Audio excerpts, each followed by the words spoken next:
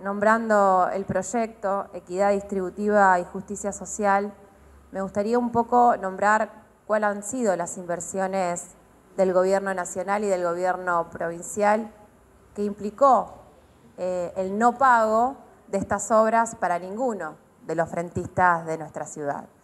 Y fundamentalmente cuando se plantea lo que es la avenida perimetral. No es una avenida que va a beneficiar al, solamente, por supuesto que sí, pero no solamente va a beneficiar al transporte pesado de nuestra ciudad, sino que también tiene que ver con la conexión dentro de Villa Constitución, ya que beneficia a varios barrios. Entre ellos podemos ver lo que es Barrio Los Pinos, Barrio Amelon, Barrio Cardales, Barrio Neumann.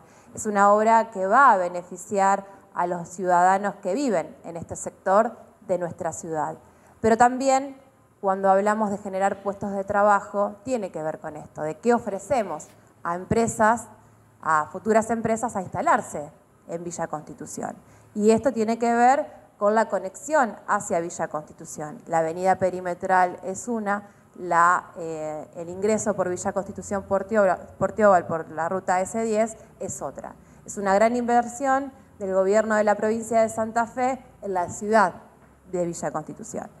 Por otro lado, también quería nombrar los 52 millones a través de la Argentina ACE que ha invertido el Gobierno Nacional para llevar adelante la pavimentación de barrios como San José. Es un barrio de nuestra ciudad que se pavimentó en su totalidad sin que el frentista tuviera que pagar un solo peso. Por otro lado, 77 millones en lo que es el fortalecimiento vial, 77 millones también en pavimentación, que es del plan incluir, y sin contar, sin contar lo que es el PLAE, el Programa de Inclusión Energética, que tiene que ver con el recambio de luminarias, eh, de la luminaria tradicional por la luminaria LED, que implica también que el frentista no tenga que pagar un peso. Y vemos como muchos barrios se están viendo beneficiados, además del centro de nuestra ciudad. Y este programa continúa, porque hace poquito nos enteramos que recibieron el segundo desembolso para continuar con estas obras que son importantes para Villa Constitución, que por supuesto falta muchísimo.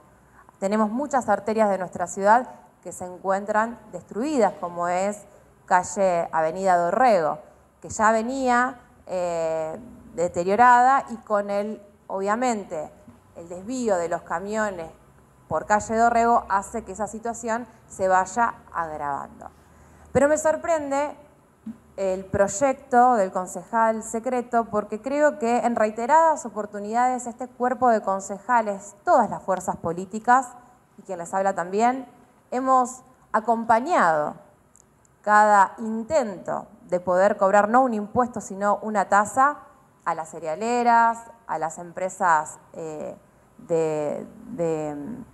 del puerto, Hemos intentado cobrarle el DREI, hemos intentado también en el caso de Asindar que sean agentes de retenciones de la tasa de camiones y lamentablemente en cada uno de los intentos esto ha terminado judicializado.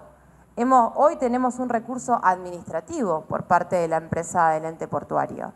Digo, hemos intentado en reiteradas oportunidades y también el concejal secreto sabe que en plena pandemia avanzamos en un proyecto de aumento del DREI para los bancos de nuestra ciudad, donde muchos se negaron a pagar este, este DREI, este, esta tasa, y también han intentado judicializarlo. Y nosotros, como cuerpo de concejales, lo que hicimos fue tratar de resolver para que realmente sean los que más tienen los que más paguen.